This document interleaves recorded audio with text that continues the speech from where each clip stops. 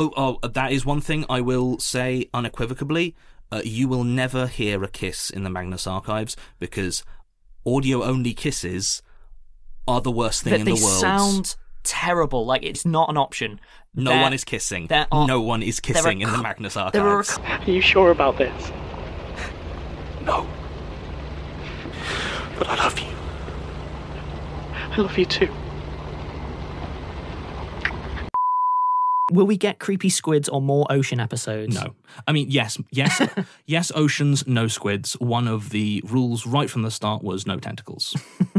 In a second, I was out of my bunk and charging onto the deck, just to see veins, dark and cold and bigger by far than any I had ever seen, rise up from the water below us.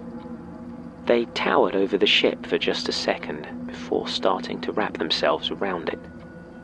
For a moment, the embrace looked almost affectionate.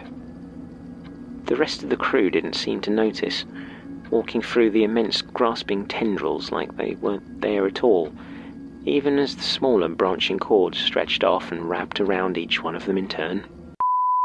Do you ever have any issues coming up with names to use in character statements rather than you know Yes. everyone you know as a Obviously, character? I do. Obviously, I do. Why would you ask that question? I mean, he's It never had the name Alex in the patently Magnus obvious. Archives at any point. Just saying, not once. Statement of Alexander Scapelhorn regarding his evaluation of the trophy room taxidermists in Barnet. There was only one person I really felt myself around.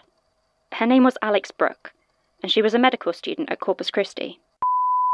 Limited swearing is done for real world release reasons, but is there any reason for it within the lore? I mean, there's no lore reason except that the characters we're writing aren't particularly sweary. Personally, from a writing point of view, I 100% agree with Alex that it's really useful to be able to have some linguistic escalation Yes. available to you, which is hard when you've got a constant stream of uh, expletives. Okay. No! So yeah, fundamentally, uh, it is intended as a romance. Uh, it will continue to be so through season five, though it will not be the focus. It was the focus of season four because it was the emotional core that led to uh, the culmination of the series. But it's going to take more of a backseat, I think, in season five. Oh, it's. I love you. I just. I need more time. But you and the one you love, the one you love, this love, the one you love. I'm. I'm in love. I am in love, and I will not forget that. I'm sure I love you. I love you too. Pretty sure we love that guy. I love you, John. I love you too. No, Martin, I love you.